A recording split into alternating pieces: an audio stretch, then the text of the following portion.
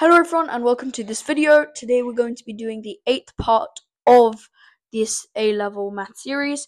Um, today we're going to be covering the equation of a circle, the Cartesian equation of a circle, how to derive the radius from that equation of the circle, and what the center is of that circle.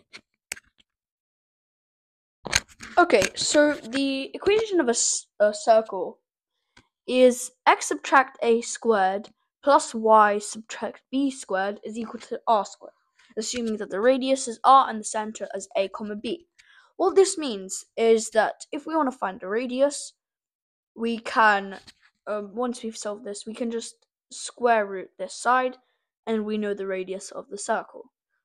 And since it the center is a comma b, to find the um to find the center, we can just make it, since it's negative here, we can just make it negative a comma negative b is the solution which we can derive from here, since it's negative and the two negatives would cancel out. So, for example, for this one, negative 5, um, negative 2, then we added the negatives, so we get 5, comma 2, and that would be the center.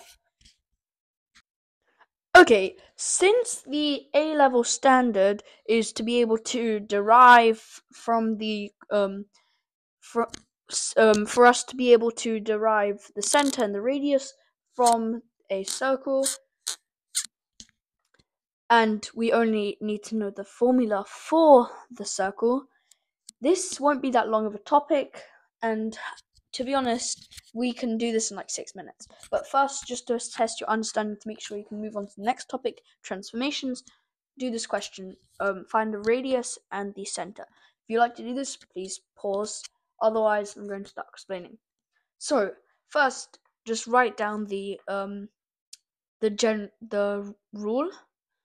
It's quite helpful, even if you remember it by heart. Just write it down, since probably um since writing down your work is something you really should get into the habit of. Anyway, don't forget that a comma b was the center and r squared is 49. So to find the center, we just put negative a. Sorry, we put negative negative a since this is negative a, and we put negative negative b since this is negative b. Okay, so 3 so since it was plus 3, we put negative to that negative a. Then we get subtract 3, comma. Here it's subtract 4, negative negative 4, which is 4. That's our center. And don't forget that r squared is 49, so the square root of 49 is 7. So the radius is equal to 47. Center equal to negative 3 comma 4.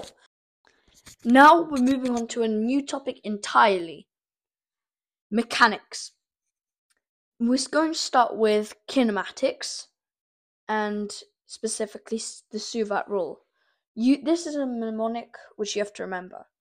So, displacement, displacement is equal to s, initial velocity is equal to u, final velocity is equal to v, acceleration is equal to a. Well, actually, constant acceleration is equal to a, and time is equal to t. Okay, let's begin with the kinematic equations. This isn't a kinematic equation, but I, this will just help you derive the first kinematic equation. Well, we know that acceleration is equal to the final velocity subtract initial velocity over time. Thus, we can derive the velocity. The final velocity is equal to the initial velocity plus um, the acceler- constant acceleration multiplied by time.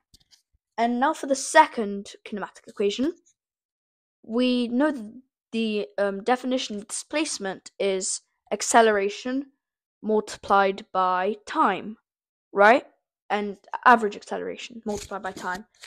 So, what is the average acceleration? Well, it's the initial velocity plus the final velocity divided by 2 mult and since it's the average velocity multiplied by t, then we get this as our second as our second kinematic equation.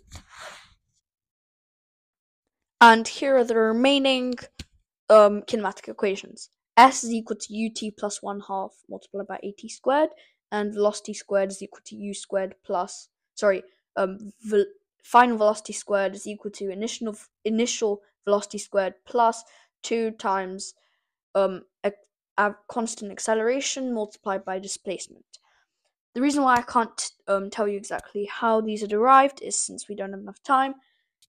Thank you everyone for watching. Hope you enjoyed. Um, next video we're going to be finishing off kinematics. And next video we might even get on to um, statistics at A level, but I'm not sure. Also, this isn't the end of mechanics at A level, this is just the beginning. It's kind of an introduction. We could have done travel graphs this ep- um, episode, but I thought it would be better not to, since travel graphs are, are learnt in GCSEs as well, I think.